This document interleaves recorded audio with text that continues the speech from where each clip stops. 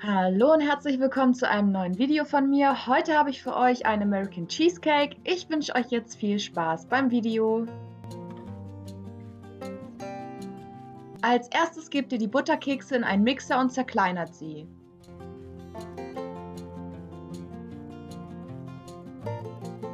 Gebt sie dann in eine Schüssel und vermischt sie mit der geschmolzenen Butter.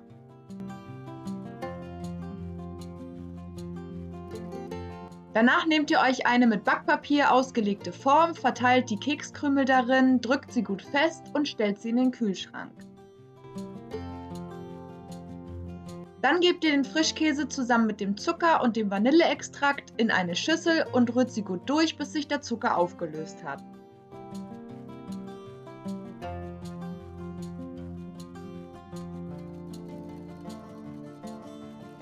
Nun kommen dann nach und nach die Eier dazu.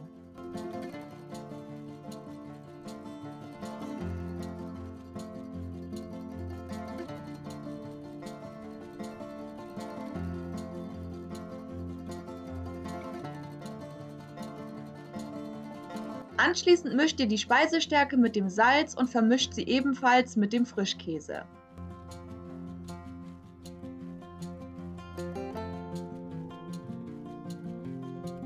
Zum Schluss kommen nun noch die saure Sahne und der Zitronensaft dazu und dann wird alles gut cremig gerührt.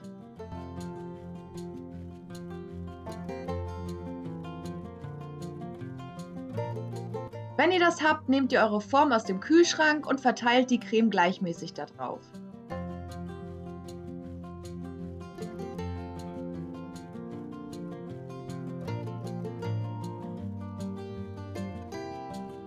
Rüttelt die Form vorsichtig hin und her, damit sich die Creme schön glatt zieht.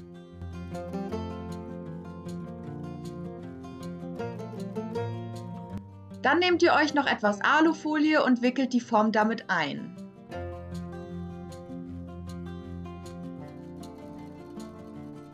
Jetzt kann der Kuchen dann bei 175 Grad für ca. 60 Minuten in den Ofen.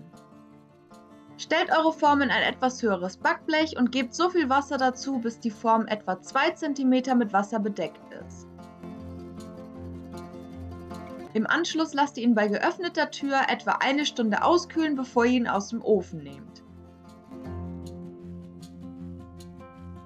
Wenn der Kuchen ausgekühlt ist, schneidet ihr das überschüssige Backpapier ab, bedeckt ihn mit Frischhaltefolie und gebt ihn für ein paar Stunden in den Kühlschrank, bevor ihr ihn anschneidet.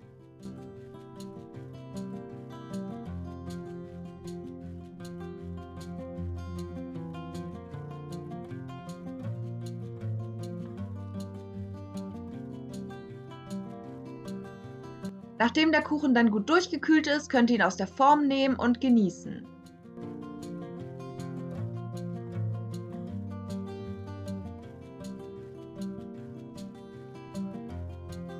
Ich bedanke mich sehr fürs Zusehen, hoffe euch hat das Video gefallen und würde sagen, wir sehen uns dann zu einem neuen Video ganz bald wieder. Bis dann!